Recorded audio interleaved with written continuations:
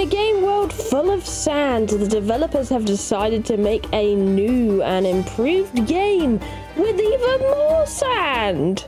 These developers really like sand for some reason. I mean, seriously, guys. First Age of Conan, now June?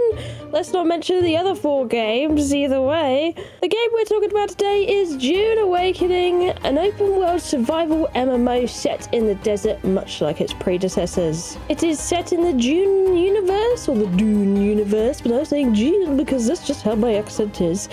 Much like Conan Exiles, it was themed around Robert E. Howard's Conan the Barbarian books, Dune will be featuring Frank Herbert's sci-fi world and will closely resemble the lore within the original tale.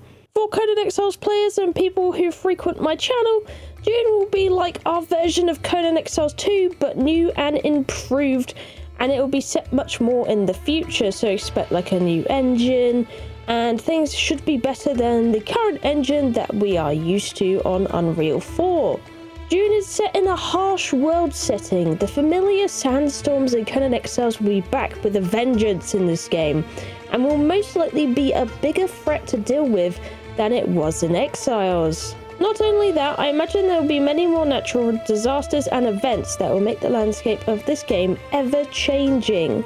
That being said, in June there are lots of underground wonders, so we could witness those as well, so don't worry about it being entirely sand. Uh, in Dune spices everything, it is an extremely valuable resource that is fought over by the factions of the Dune universe, which I imagine we will be dabbling with as they are a huge part of the story of Dune. Spices like diamonds in Minecraft or star metal in Conan Exiles, that's kind of like your equivalent of what spice is going to be like in this game. So top of the food chain type of resources we're looking at here. Spice is usually found out in the middle of the desert in the most dangerous places in the dunes. In this case, you'll probably have to travel out to the big wide open sandy deserts and you have the threat of huge sandworms. So they're like huge leviathan like creatures that can swallow entire armies whole. So I imagine you will have to go from point A to B get safely past the worms and be able to farm the spice. And whilst you're farming the spice, you can also be contested by other people as well as these giant scary worms. So you definitely have to be careful when you want to go and get that most valuable resource in this game. When we play, we will most likely be looking at finding spice fields to harvest, and you'll probably be contested while attempting to harvest the spice, like I was mentioning. So it's much like the purge mechanic on Conan Exiles, or you could have other players trying to intercept your harvest. If you're lucky enough to collect some spice for yourself and bring it back to safety, then you'll be able to use it as currency or consume it for power. I imagine spice will have its own attribute tree and unlock some skills if you're consuming it. Earlier we talked about factions. Dune Awakening has already confirmed we will be able to make our own guilds that will be classed as minor houses under the influence of major houses. I don't know how extensive our time will be with major houses, but in normal Dune, there are three ones that come to mind. House Atreides, the hero, House Harkonnen, the villain, and House Corrino, the imperial family. You also have the Fremen, the native people of Arrakis the world of Dune is set in. This being said, there are many more houses in Dune's lore, so Funcom could use these or they could use less prevalent houses to demonstrate the story we have here. Much like Conan, Dune will have base building.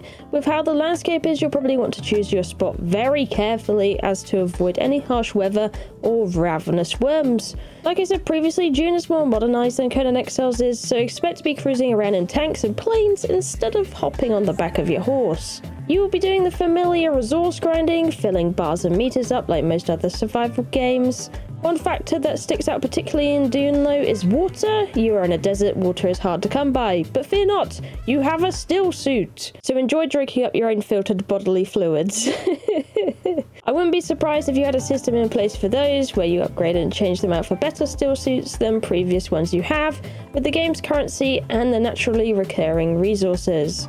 Anyways, let me know what you think about this game in the comments. but now we can get into a few of the grittier details about this. Do I think this game will involve a monetary system? Absolutely, it is no secret Funcom have their own hired MTX specialist, and unfortunately, this is something that has become more and more common in the modern gaming world. As well as that, MTX is fully integrated into Conan Exiles, Funcom's biggest MMO game at the moment. They have described in the past that this is what they're using to keep the lights on and the updates out.